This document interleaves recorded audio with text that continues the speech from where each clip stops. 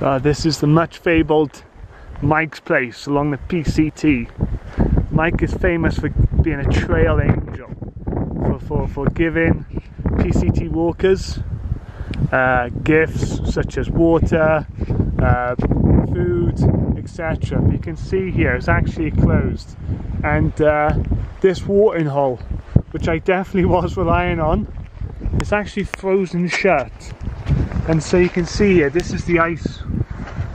I just pointed out there. That fell off there when I knocked it off. You can see just ice there. So I have about a litre of water and my two and a half meals left in my bag I thought I had so it's about the first time there I'm a bit concerned for, for my well-being think I just need to get down as far as I can tonight down the mountainside. I'm almost at 2,000 metres I got a bit more climbing to do today.